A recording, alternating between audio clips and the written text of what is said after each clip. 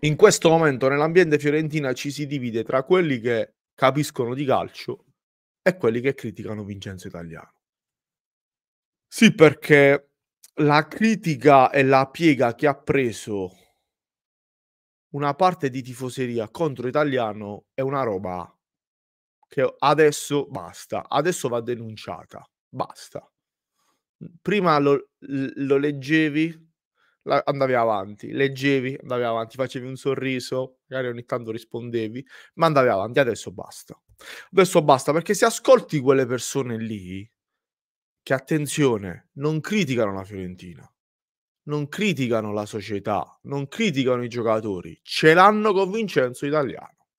Lo so, ma ce l'hanno con Vincenzo Italiano. Se senti queste persone qua, ti chiedi, allora, la Fiorentina sarà quindicesima in classifica, la Fiorentina sarà fuori dalla Coppa Italia, la Fiorentina magari non si è qualificata per la conference, se ascolti loro, invece no. La Fiorentina prima nel girone di conference, quindi in merito lo scorso anno. La Fiorentina è a un punto dal quarto posto e quindi in pienissima lotta ai Champions. La Fiorentina è andata avanti, ha passato il turno in Coppa Italia, quindi la Fiorentina sta facendo non solo quello che deve fare, ma lottando per la Champions sta facendo qualcosa in più in campionato. Eppure oggi è 15 dicembre. Se il 15 di settembre, piuttosto che il 15 di luglio o il 15 di agosto, ci avessero detto, guarda che il 15 di dicembre la Fiorentina è davanti in conference, qualificata come prima, da, passato il turno in Coppa Italia ed è ad un punto dal quarto posto in pienissima lotta per la Champions. La gente avrebbe firmato col sangue. La gente avrebbe firmato col sangue. Oggi la Fiorentina in questa posizione di classifica qui e c'è una critica nei confronti dell'allenatore che è imbarazzante. È imbarazzante. L'ultima sono le critiche che, che ha preso Italiano per aver schierato Nico Gonzalez, che si è fatto male in questo momento in cui questo video lo sto registrando. Dovrebbe essere uno stiramento fuori per si, si stima in un mese da quel che pare, poi magari è molto di meno, speriamo.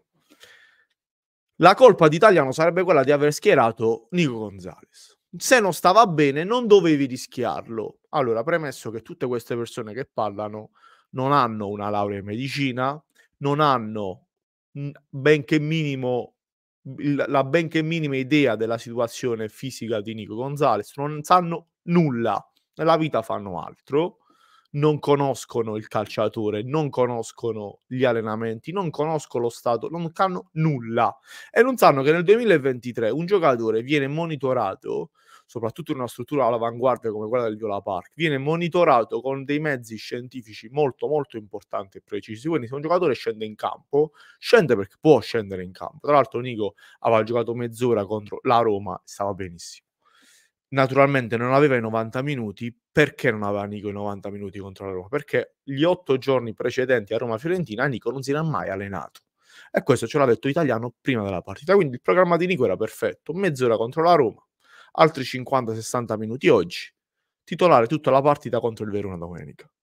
Italiano ieri in conferenza stampa l'aveva detto, adesso Nico è recuperato, è al top, aveva, non era stato benissimo, adesso è al top. Sfortuna vuole che Nico gioca e si fa male, stiramento. Cosa c'entra Vincenzo Italiano? Nulla.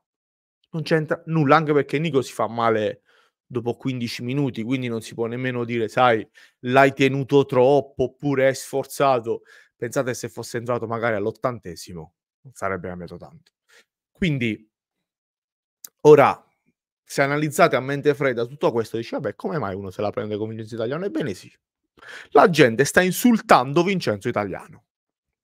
La gente per questo motivo sta insultando Vincenzo Italiano ma sono le stesse persone che se magari Italiano non l'avesse messo Nico e oggi la Fiorentina faceva una partita sottotono o magari perdeva, avrebbero criticato Italiano perché non aveva messo Nico Gonzalez. Sono sempre le stesse persone che ogni settimana, ogni partita si svegliano e hanno un solo obiettivo, non tifare la Fiorentina, non gliene frega un cazzo di tifare la Fiorentina questa gente qua. Devono andare contro Vincenzo Italiano. Domenica è uscita la formazione, formazione sbagliata, non capisci un cazzo, italiano incompetente, la formazione poi si è rivelata perfetta, perché qualcuno voleva Beltrano, non avrebbe mai beccato in mezzo a quei tre bestioni all'Olimpico, e molti volevano Milenkovic, mentre Quarta e Ranieri hanno fatto una super partita all'Olimpico di Roma. Quindi formazione perfetta, però questi poi non hanno detto oh, bravo italiano, io avevo detto la formazione era s- total- tutta sbagliata, invece è stata giusta, Quarta ha fatto bene, ha fatto gol, Ranieri uno dei migliori in campo, e Zola si è, fatto rispe- si è mangiato un gol, ma si è fatto rispettare nella lotta, ha dialogato bene, quindi bravo. No, la prossima partita col Verona, qualsiasi scelta italiano farà, ve lo dico io, pigliare a critiche, non sono un indovino, non sono un indovino, ma fidatevi che contro il Verona, appena uscirà la formazione, queste persone qui che hanno criticato italiano e che criticano italiano ogni partita, contro il Verona, ve lo metto per iscritto, criticheranno italiano quando uscirà la distinta della formazione, oppure a fine partita speriamo che si è vinto, perché se non si sarà vinto, ve lo dico oggi adesso, colpa di Vincenzo Italiano. Oppure se è vinto 2-0 dirà no, si poteva vincere 3-0. Oppure potevi fare questo. È sempre così. Cioè, oggi c'è da parte di una parte di tifoseria della Fiorentina, c'è la voglia di rompere le scatole a Vincenzo Italiano, sempre, in continuazione, costantemente, in ogni partita, appena ne hanno mezza occasione. Ma perché? Perché? Perché non è un capopopolo come Mourinho, perché non dice frasi paraculo, perché non va a piazzale Michelangelo e dice Firenze è meravigliosa, ti amo alla follia, perché non si compra i tifosi con frasi paraculo, perché non dice molto spesso quello che i tifosi si vogliono sentir dire. Italiano, per esempio, non si è mai lamentato contro un arbitro, pure tanti tifosi amano il, il come fa Mourinho, è sempre colpa dell'arbitro, è sempre amano i capopopolo. Italiano parla di calcio Italiano non dice quello che, che il tifoso medio si vuole sentir dire. Italiano non, non, è un leccaculo. Questo italiano lo sta pagando contro questi tifosi qua. Zola, sapete perché? Oggi il rendimento di Beltrano e di Zola è pressoché lo stesso, tra alti e bassi dell'uno e dell'altro. Sapete chi viene massacrato di più? Zola. Sapete perché? Perché l'ha chiesto Vincenzo Italiano. Anche qua, narrazione meravigliosa. Perché la gente pensa che Italiano ha scelto Nzola, gli hanno detto guarda c'è Scamacca, c'è Lukaku e c'è Nzola. E Italiano diceva no, datemi Nzola. No, non è andata proprio, proprio così. La scelta era magari tenere Jovic, prendere Nzola perché l'investimento grosso era Beltran, fatto dalla società, Italiano non lo conosceva nemmeno. Quindi è tutta una scusa per andare contro l'italiano. Adesso basta. Perché così si fa il male della Fiorentina, anche perché, diciamolo a chi non ancora, se Italiano dovesse andare via, Italiano va ad una squadra meglio della Fiorentina, perché lo vuole il Napoli, il Milan è interessato, la Roma ci ha sempre guardato, Italiano, l'ha aggiunto, gli piace tantissimo, eccetera, eccetera, eccetera. La Fiorentina prende uno peggio di Italiano, perché ragazzi Spalletti alla Fiorentina non viene perché De Zerbi alla Fiorentina non viene, perché Simone Inzaghi alla Fiorentina non viene, perché Pep Guardiola alla Fiorentina non viene, perché Klopp alla Fiorentina non viene. Quindi non pensate che se vincete questa crociata contro Italiano il prossimo anno della Fiorentina sia meglio, ma è peggio. E questa squadra qui, per tanti interpreti, ricordiamo che Fiorentina-Bologna, sette titolari di quella squadra, sette titolari di, di, quella squadra erano gli stessi titolari che giocavano per la salvezza con Prandelli e Iachini. Sono gli stessi e i giocatori sono quasi gli stessi. Sapete chi mancava di quei sette undicesimi? Che dicevo, chi erano i quattro che c'erano allora e non ci sono oggi? Vlaovic, Castrovilli, Pezzella, Ribéry. Vlaovic, Castrovilli, Pezzella e Ribéry. Quindi cosa vuol dire? Questo allenatore con questo materiale sta facendo cioè che la Fiorentina è lotta per il quarto posto e i propri attaccanti hanno un gol, un gol in Serie A rispettivamente, un miracolo. Che la Fiorentina gioca con un grande esterno di valore che è Nico, il resto sono purtroppo mediocri e la Fiorentina sta lì, è un miracolo.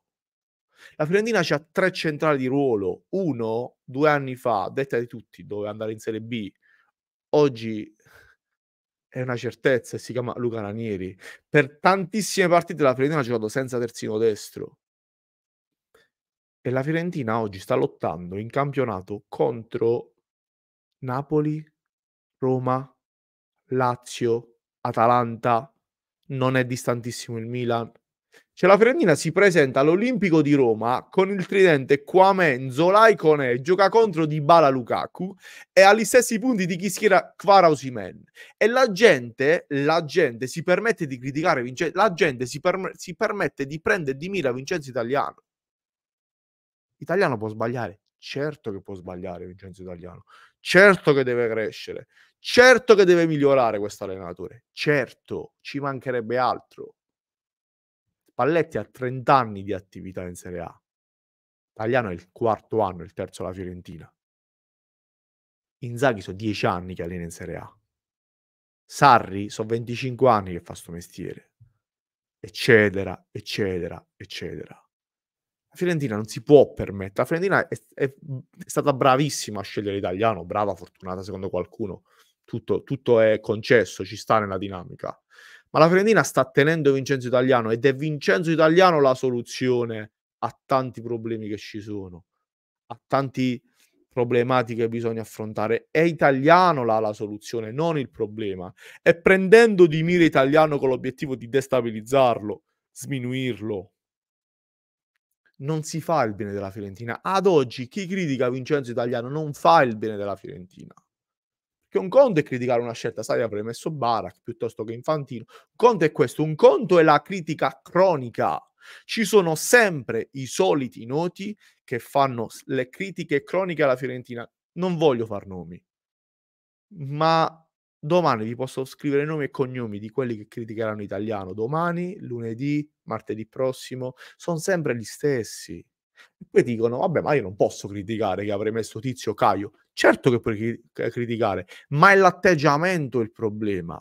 È l'atteggiamento della critica cronica ad un... che non so perché lo state prendendo di mira.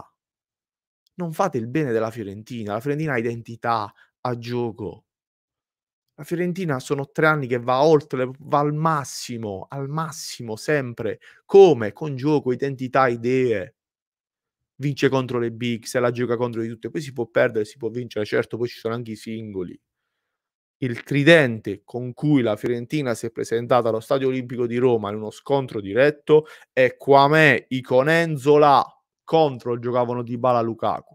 Alla fine della partita, sapete chi doveva vincere la partita? La Fiorentina. Sapete chi ha detto ho perso due punti? La Fiorentina. Sapete chi sono i tifosi che hanno insultato per aver pareggiato? Tifosi della Roma. A un allenatore così gli va detto grazie, gli va detto guarda io ti proteggo, di cosa hai bisogno? Di sostegno, te lo do. Perché grazie a te che stiamo facendo un certo tipo di percorso, con tutti gli errori che si devono e si possono fare. Quindi è, è vergognoso quello che accade e sono sempre i soliti noti che stanno facendo una battaglia non contro Italiano, perché chi oggi fa una battaglia contro Italiano fa semplicemente una battaglia contro la Fiorentina. Fa una battaglia contro la Fiorentina. Queste persone se ne devono rendere conto. Ripetiamo, non è la critica il problema, è l'atteggiamento anti-italiano che non va bene. Se arriva un altro allenatore e non arriverà uno migliore italiano perché Spalletti alla Fiorentina non viene, Guai Emery alla Fiorentina non viene, Klopp alla Fiorentina non viene, quindi a italiano che sai che la strada è quella giusta, è quella di un grande allenatore che puoi migliorare con lui, crescere con lui, anche attraverso i suoi errori, i suoi sbagli, ci mancherebbe altro, ma è questa la strada. Non criticarlo, demotivarlo, sminuirlo, insultarlo, perché non si fa il bene della Fiorentina.